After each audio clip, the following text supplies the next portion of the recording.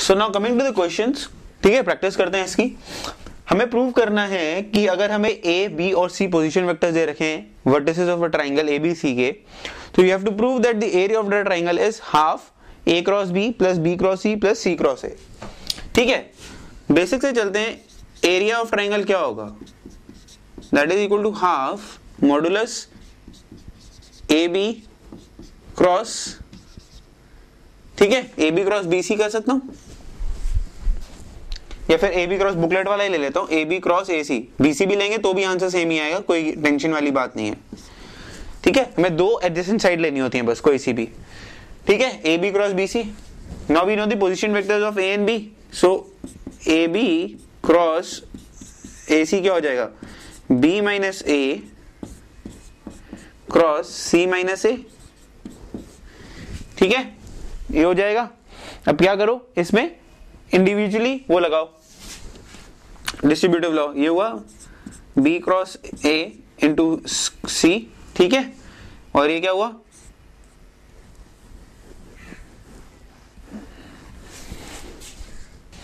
And this will be minus of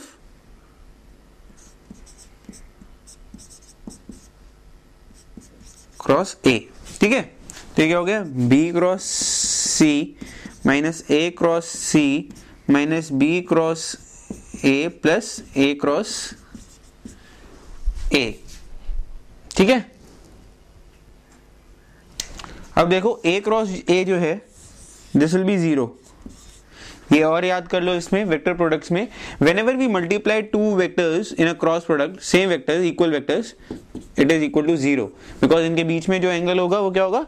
zero होगा. So there cross product will be zero तो मेरे पास बचा क्या? B cross C minus A cross C minus B cross A मुझे क्या चाहिए आंसर में? ए क्रॉस बी यहाँ आ रहा है बी क्रॉस ए तो मैं अगर इसको अपोजिट लिखूँगा तो I have to take negative sign so negative negative plus हो जाएगा. So this becomes A cross B answer में एक है बी क्रॉस सी जो कि है मेरे पास. ठीक है? वो तो चलो बन गया बात. नेक्स्ट आता है कि मेरे को चाहिए सी क्रॉस ए यहाँ पर है ए क्रॉस सी अपोजिट करूँगा तो नेगेटिव साइन लेना पड़ेगा। नेगेटिव नेगेटिव बाहर हो जाएगा प्लस बन जाएगा। This become C cross A and this is what is required ठीक है? ये हमें क्वेश्चन में चाहिए था। तो देखो, इसमें जब भी हम वेक्टर के क्वेश्चन करेंगे, उसमें एक साइक्लिक ऑर्डर बनेगा। जैसे मैंने आई जे कैप का साइक्लिक ऑर्डर बताया था। इसमें देखो क्या साइक्लिक ऑर्डर बन रहा है। ए इंटू बी फिर बी इंटू सी फिर सी क्रॉस ए मतलब साइक्लिक ऑर्डर किस किस का बना? ए बी और सी पहले ए इंटू बी फिर बी इंटू सी फिर सी इंटू ए ठीक है ना? तो इसमें हर बार तुम साइक्लिक ऑर्डर को ज़रूर कंसिडर करना। लेटेस्ट टेक इलस्ट्रेशन 45 जिसमें लैंग्रेंज आइडेंटिटी लगानी है तुम्हें सीधा, जिसमें तुम्हें a डॉट बी की वैल्यू फाइंड आउट करनी है, जिसमें a, b और a क्रॉस b की तुम्हें वैल्यू दे रखी है। So we just use normal a dot b का square is equal to a square b square minus magnitude of a square cross B square calculate कर लेना answer आ जाएगा।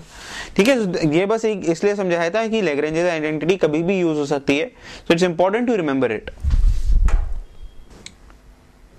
so now what you have to do is in this illustration 46 एक minute, मैं diagram change कर दूँ। Diagram गलत बन गया। You have to find the length of the perpendicular from C on A B ठीक है? कैसे देखो अप्रोच क्या करना है? मुझे चाहिए पी पी फाइंड तब कर सकता हूँ जब मुझे एरिया पता हो। ठीक है? एरिया मुझे ट्राइंगल का पता है। मैंने अभी पिछले क्वेश्चन में भी करा था। And in fact you should remember this area क्या हो जाएगा? हाफ़ मुझे पहले ही पता था।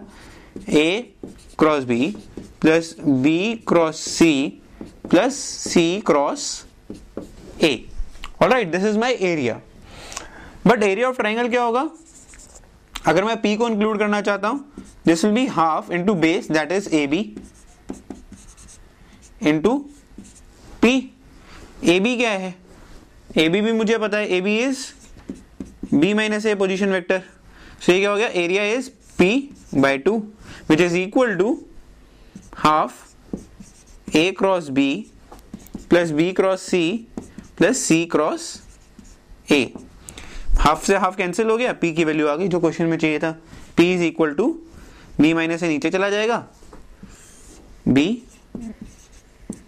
minus A. ठीक है?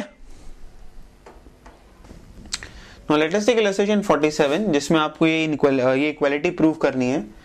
एक और बात, इस इक्वालिटी को ही याद रखो, ये बहुत इंपॉर्टेंट इक्वालिटी है, जो आगे जाके हो सकता है डायरेक्ट क्वेश्चंस में यूज़ हो। Objective questions A I triple में हो सकता है डायरेक्टली इसी फॉर्मूले के ऊपर बेस्ड आ जाएँ। ठीक है? तो देखो, इसमें क्या होगा?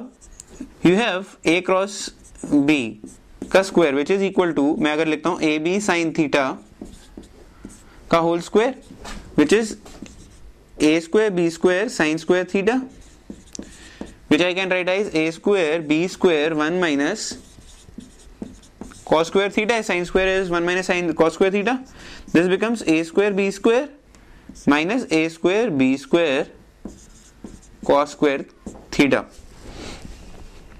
ठीक है अब मैं इसको कैसे लिख सकता हूँ ए स्क्वायर को कैसे लिख सकता हूँ A dot A into B dot B ठीक है और इसको कैसे लिख सकता हूँ ए डॉट प्रोडक्ट कर देता हूँ का होल स्क्वायर ठीक है तो अगर आप देखो ये जो हमें मिला है finally this is equal to this determinant. A dot a into b dot uh, b that is a square b square minus a dot b ka whole square which we have got over here. All right?